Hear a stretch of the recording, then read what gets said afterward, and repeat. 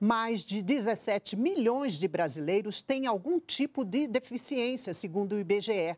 No Dia Internacional de, dedicado a esse grupo, o Ministério da Mulher, da Família e dos Direitos Humanos anuncia um censo sobre doenças raras no país.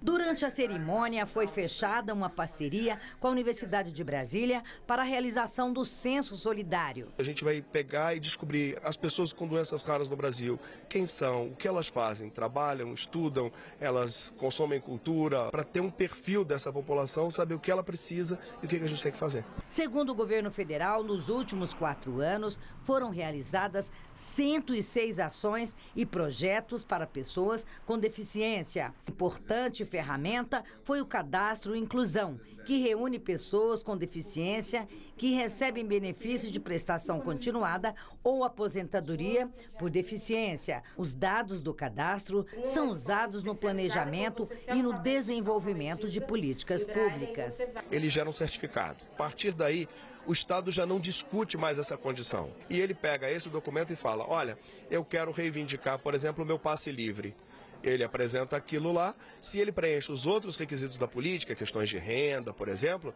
ele vai conseguir exercer o seu direito. E o V Libras, que traz páginas na internet com a língua brasileira de sinais, foi aperfeiçoado e hoje faz cerca de 100 mil traduções por dia. E o Brasil é um dos poucos países no mundo a ter um cinema adaptado para pessoas com deficiência auditiva e visual já são 1.700 filmes produzidos com recursos de acessibilidade.